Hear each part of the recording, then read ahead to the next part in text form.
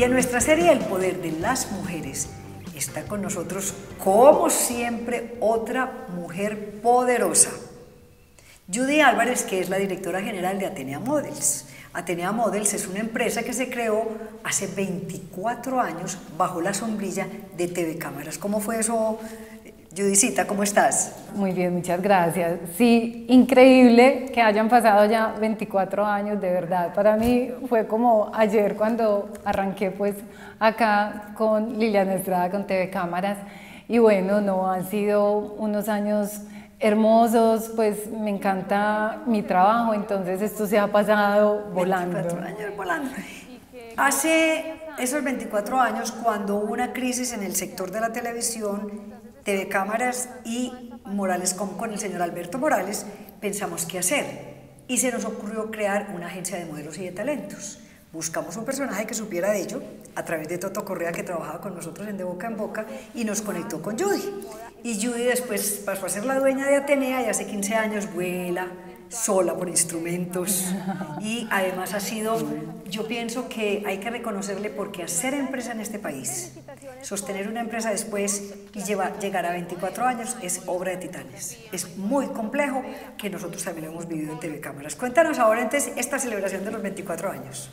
Sí, como dices, es complejo pues hacer empresa acá. Fuera de eso, pues también esta pandemia nos marcó demasiado.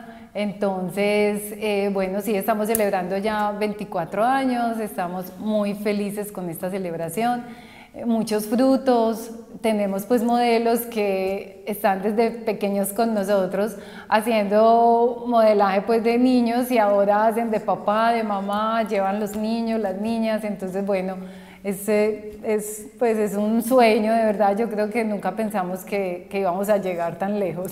Jamás, jamás. Recordemos modelos de ese entonces, cuando inició Atenea, que tienen gran vuelo. Sara Corrales la recuerdo mucho, que llegó chiquitita. Sí, María Fernanda Yepes, por ejemplo, María también. Fernanda Yepes. Sí, Juan Pablo Llano y Catalina Gómez. En esos inicios creo que Atenea fue una empresa que digamos, tuvo como un, un, sello específico y diferente.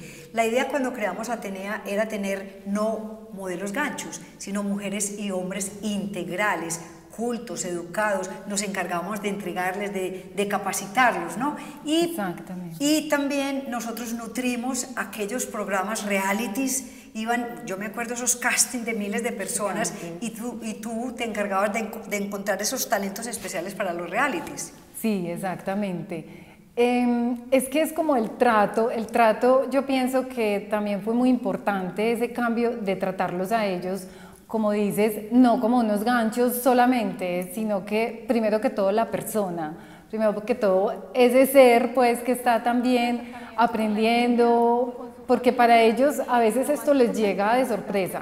O sea, yo siempre he dicho, con esto se nace, pero mucha gente no se da cuenta sino hasta que uno no la, la, descubre. La descubre. Sí, entonces también para ellos es todo muy nuevo.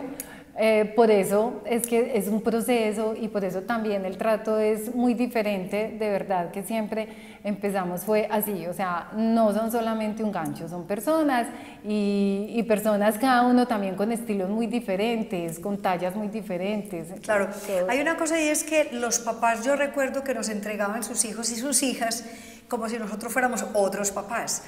Decían, a ustedes sí les permitimos que nos llamen a nuestros hijos a, a modelar, porque eso es una industria que genera Todavía. Temor. Todavía. Sí, todavía. Exacto, todavía. Porque creen que se van a enredar, que van a estar en malos pasos. Entonces, nosotros siempre garantizábamos de que sus niñas y sus niños estuvieran muy bien acompañados. Sí, cuidados con las marcas que deben estar, porque eso es, o sea, como, como te digo, todavía la gente dice, ay, qué rico que te encontré, estás muy bien recomendada, porque esto me encanta, pero no sabía a quién, pues no sabía cómo empezar esta carrera también para ellos. Entonces sí, así es, o sea, los cuidamos demasiado, pues desde los más pequeñitos hasta los más grandes, que también hay que cuidarlos Claro, en esta claro. industria. Pero además yo pienso que uno no debe como rotular, digamos, ningún oficio, sino depende también de cómo lo ejerzas, porque yo sé que muchos muchachos y chicas se han pagado sus universidades, han pagado cantidades de necesidades que no se le pueden cubrir desde la familia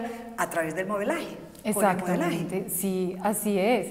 Hace poco conocí la mamá de un modelo que lo tengo desde muy, muy, muy jovencito y eso me llenó pues de verdad de felicidad porque me decía, o sea, todo, todo lo que él es es gracias, me decía gracias a ti porque pues lo descubrimos de verdad muy pequeño y es uno de los modelos ahora de verdad más importantes de, del país porque hombres es más escaso, hay, hay más mujeres pues como que triunfen en, en, este mundo que hombres. Y que se atrevan también, ¿no? Exactamente, y que se atrevan y que sigan, porque es que esto es una disciplina, o sea, esto no es solamente ser lindo o ser linda, que muchos piensan así, y de hecho muchos empezaron, no empezaban, pero no, pues estrellados total, esto es mucha disciplina y, responsabilidad, mucha responsabilidad también. es como cualquier trabajo, se tiene que hacer con responsabilidad.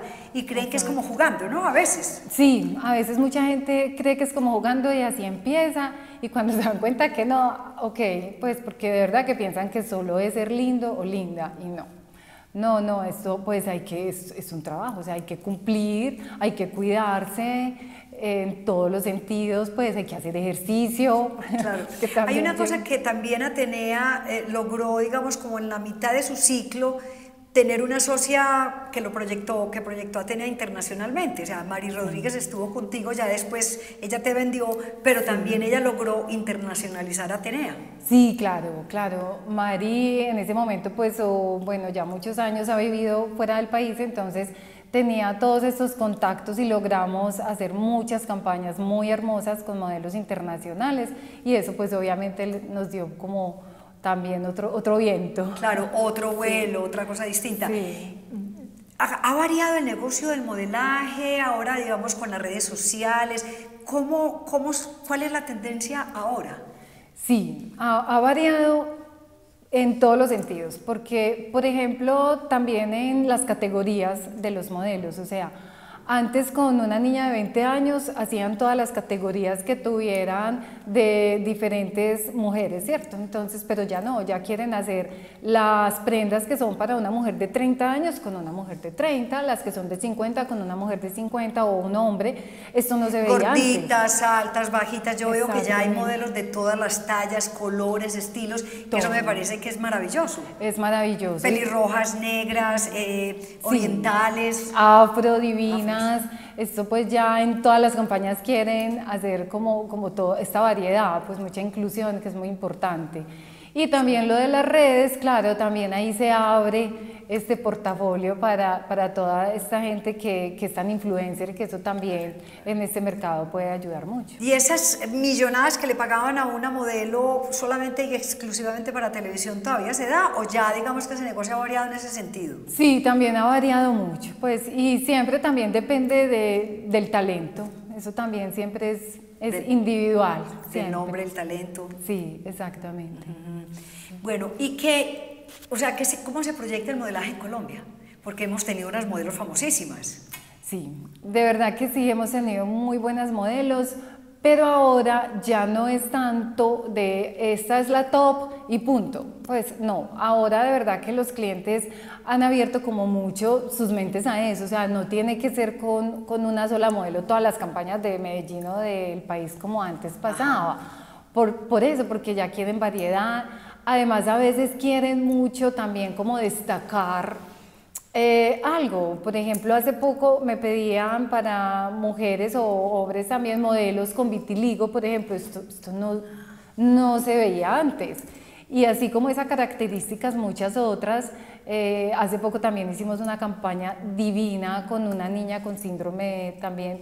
Y, ¿Síndrome de Down? Sí, síndrome de Down, que divina. Entonces mira que ya, ya no, ya, ya todos los... O sea, ya el parámetro no es solo la belleza, no, sino otras condiciones y otras características. Y cada vez vamos más hacia eso, entonces sí ah, hemos variado y sí hemos cambiado mucho en ese sentido. Bueno, ahora hablemos de Judy. Judy es una mujer poderosa, porque eh, ha logrado con Atenea educar un par de muchachos maravillosos. Sí, Uno es rockero y otro es abogado. Sí. Ahí los vamos a ver las fotografías, hermosos, preciosos, sí. Además también tiene como esposo, como pareja, un hombre que queremos mucho en TV Cámaras, el único hombre que ha trabajado con De Boca en Boca, Juan Guillermo Moreno. Y, y, están juntos hace un rato largo ya. Sí, sí, ya hace muchos años estamos juntos compartiendo muchas cosas también en común.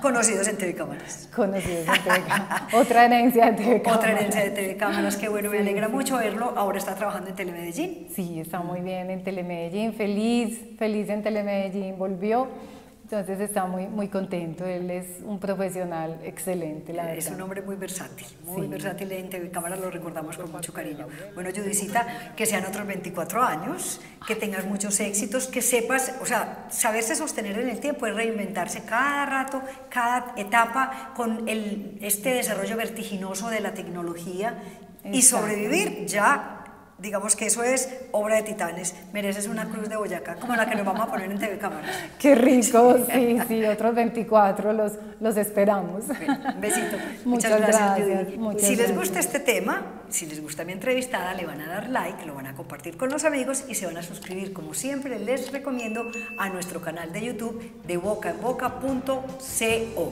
Judicita, un besito y muchas gracias. Gracias, gracias.